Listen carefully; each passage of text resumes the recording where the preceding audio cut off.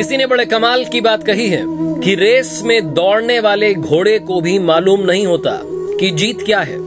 वो सिर्फ इसलिए दौड़ता है क्योंकि उसका मालिक उसे तकलीफ देता है अगर आपकी जिंदगी में कभी तकलीफ आए तो याद रखिएगा कि हमारा मालिक यानी ऊपर वाला हमें तकलीफ दे रहा है क्योंकि वो हमें जिताना चाहता है